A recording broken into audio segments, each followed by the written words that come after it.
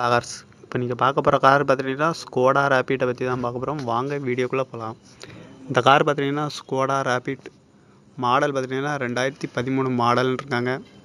Variant பார்த்துட்டிங்கன்னா electrons அப்படின்னு சொல்லியிருக்காங்க.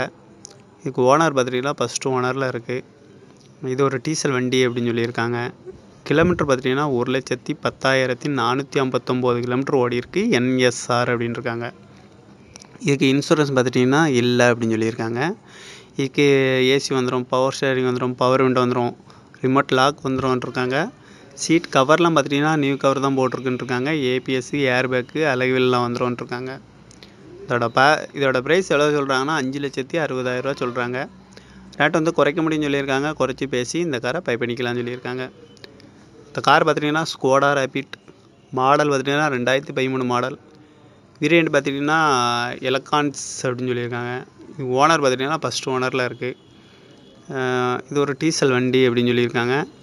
கிலோமீட்டர் பார்த்துட்டிங்கன்னா ஒரு லட்சத்தி பத்தாயிரத்தி நானூற்றி ஐம்பத்தொம்போது கிலோமீட்டர் ஓடி இருக்குது சி என்எஸ்ஆர் அப்படின்னு இருக்காங்க இன்சூரன்ஸ் பார்த்துட்டிங்கன்னா இல்லை அப்படின்னு சொல்லியிருக்காங்க.